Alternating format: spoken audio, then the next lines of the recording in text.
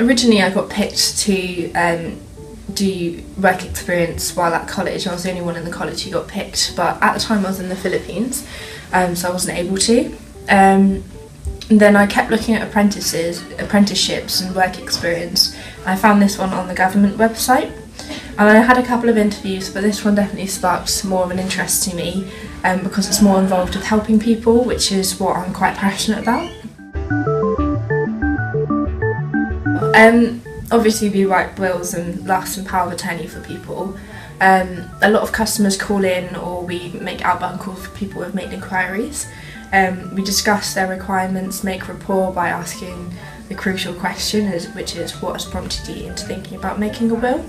That allows us to get a little bit more of an insight into the customer's life and as to whether they've bought a house, had a child, or lost someone close to them.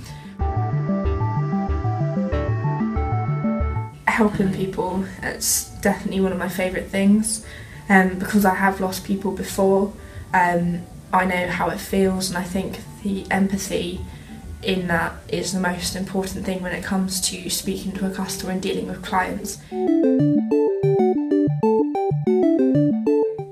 The co-op as a whole has been incredible with it and um, they've definitely given me the support and time that I need to complete my apprenticeship. Um, my managers also have been absolutely brilliant. They give me times to speak to my trainer, they give me that extra support if necessary, um, and they've definitely given me that chance to do this. I want to achieve my, the best I can in helping people. I think helping people find the voice they didn't know they had or finding their feet again is one of the most important things you can do for a person and giving them hope. I would like to manage my own law firm and have little departments maybe in civil litigation and criminal litigation, giving them that chance to find themselves.